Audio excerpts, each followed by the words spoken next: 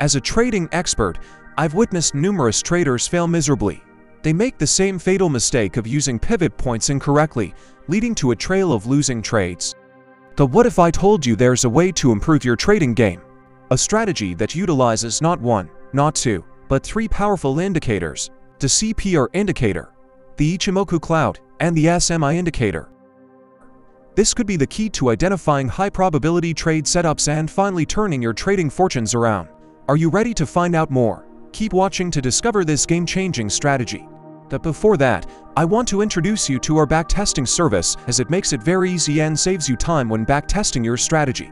Thousands of traders are using Trader Edge to get an edge on their competition. It also has a lot of features that would definitely take you one step ahead of your trading career, just like the position calculator that serves as a great tool for risk management. Are you not sure how to backtest?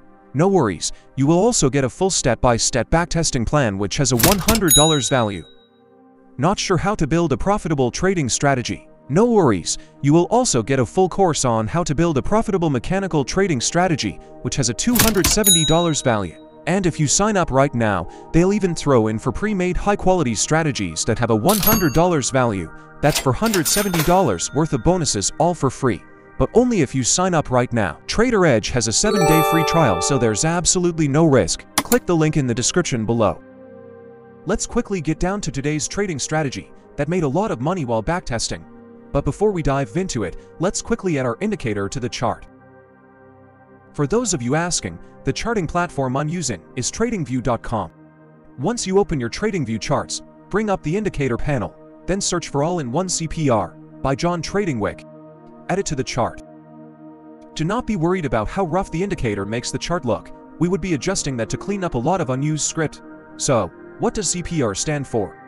CPR stands for the Central Pivot Range. This is an indicator used to identify trade price level pivot points. It is very popular among professional traders due to its versatility and simplicity.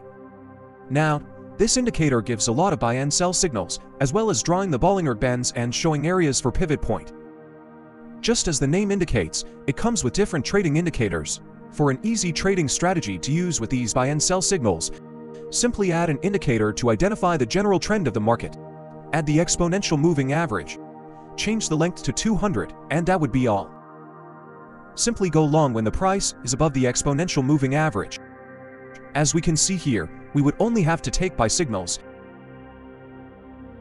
And exactly the opposite is true for a short trade. We just have to wait for the price to sit below the exponential moving average. Then take only sell trades when we have our sell signals.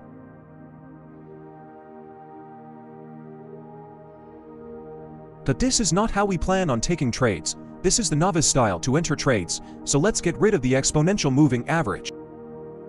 For an advanced level, we would be making use of just the pivot point from the indicator as our trading strategy.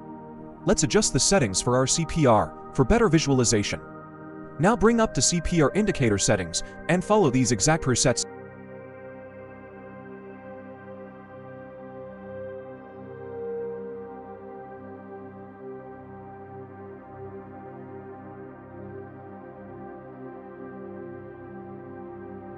And we have our chart looking like this. Before we move on, we need a baseline to better equip us with good entry point. Simply add the Ichimoku cloud by TradingView to the chart. The Ichimoku Kinko Hyo, or Ichimoku for short, is a technical indicator used to gauge momentum, along with future areas of support and resistance. Let's also adjust the settings for this indicator. On the input, change the baseline to 144. Now, on the style, uncheck every other setting except the baseline. Lastly, change the color of the baseline to white. And that's all. Please note that these settings applied are for the 5-minute trading strategy, as we try to scalp the USDJPY on the 5-minute time frame. Now, how do we enter trades using our CPR trading strategy? We enter by trades when we have our baseline above the recent pivot point, then wait for the price to retrace back towards our pivot point. Wait for price rejection before we enter trades.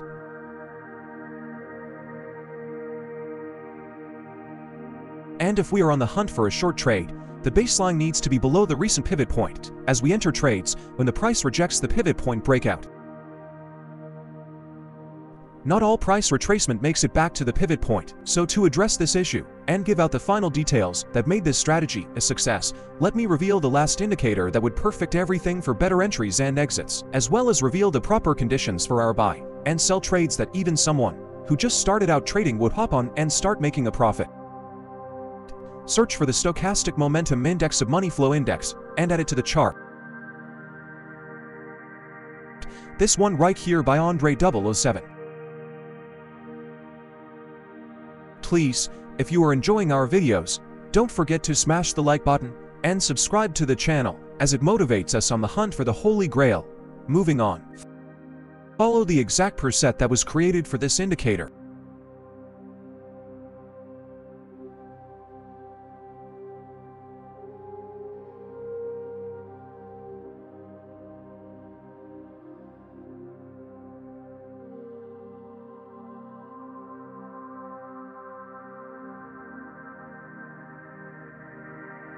Before we move on, please make sure you are able to differentiate between the shades of blue on the SMI indicator. We make use of the darker blue as this shows strong movement in the market. Apply the settings on your indicator and you will understand better. For a valid sell signal, follow these simple steps. 1. The baseline needs to be below the pivot point. 2. Wait for the price to retrace and close above our baseline. 3. We would wait until we see the SMI line cross below the signal line, while both remain above our center line. And for the final confirmation, make sure we have the SMI changed to darker blue. So, in our case, this is where we got our signal. Lastly, we only open trades when price action is between the baseline and pivot point. What we mean is this, we don't open trades if price action is below the baseline or above the pivot point while we got our final confirmation from the SMI.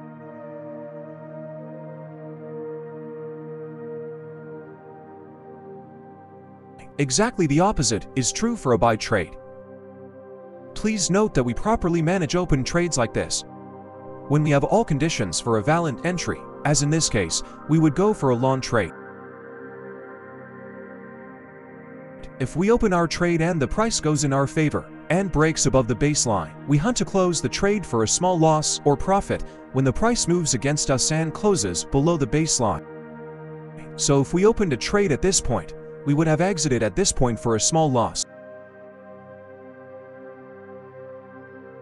And again, we got a valid signal here.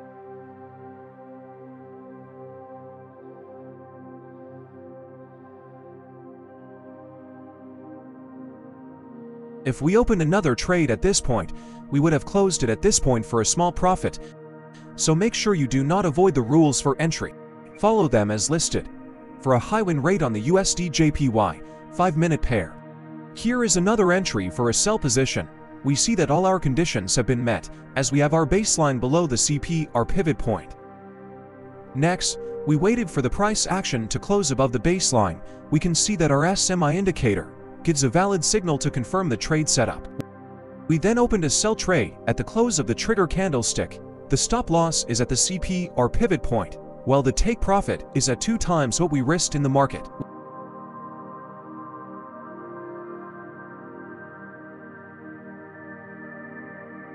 We can see that this trade was successful.